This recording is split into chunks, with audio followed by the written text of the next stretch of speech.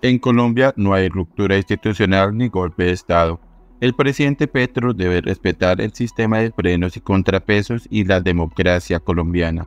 Fuerte advertencia de Paloma Valencia. Es muy grave que bodegas de redes sociales del petrismo estén realizando perfilamientos de los magistrados de la Corte Suprema.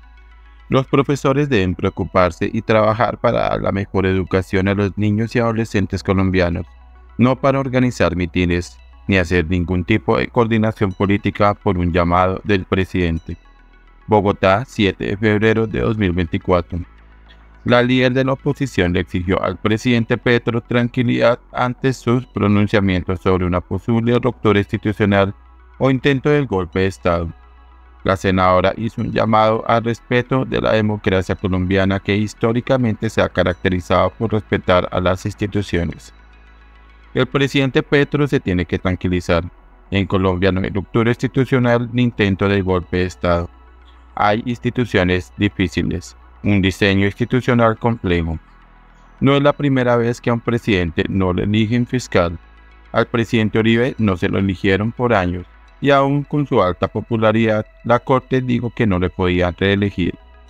Y el Congreso le tumbó varios proyectos, es normal, Así funciona el sistema de pesos y contrapesos, dijo la representante del Centro Democrático.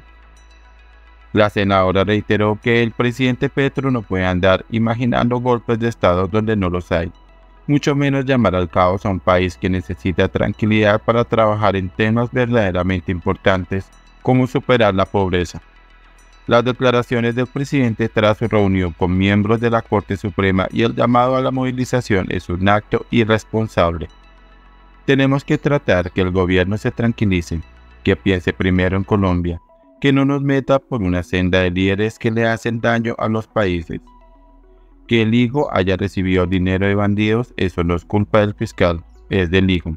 Que investiguen estos temas no es persecución, es cumplir la ley, concluyó Valencia.